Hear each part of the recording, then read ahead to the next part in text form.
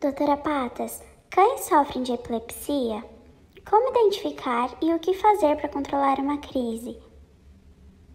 Sim, os cães sofrem de epilepsia, a gente denomina epilepsia idiopática, tem caráter hereditário, genético.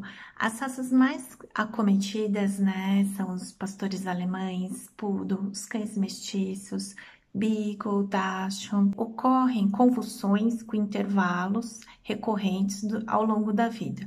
Esses intervalos, eles podem ser muito variados, né? Então, os cãezinhos necessitam de terapia anticonvulsivante, na maioria dos casos, para manter as convulsões controladas.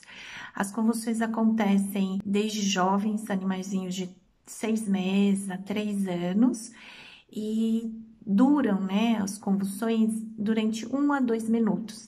Para chegar ao diagnóstico, a gente precisa excluir as outras causas de convulsão.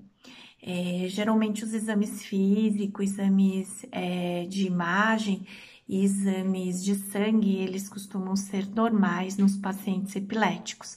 Por isso que a gente fala que o diagnóstico é por exclusão.